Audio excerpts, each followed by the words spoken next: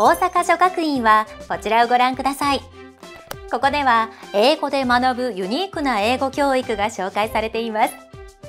ポイントは内容重視と学生主体の課題達成型学習を行っているところにあります。まずは平和、人権、文化、環境など世界のトピックを学び、課題や問題について理解を深めることから始まります。その後、個人やグループで情報をリサーチし、自分の考えをまとめ、仲間とディスカッションをし、プレゼンテーションやレポートによる発表を行う学生主体の学びです。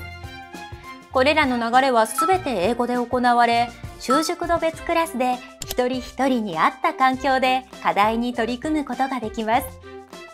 その他にも発音を理論に基づく実践から学ぶ音声学、スピーチコンテストやプレゼンテーションコンテストなど発表を通して聞く力と伝える力を養うほか、オンライン学習システムの導入によって語彙力の向上と多読により読む力を磨くなどあらゆる英語力を身につけることが可能となっています。国際的な舞台で活躍したい。そんな夢が叶えられますよ。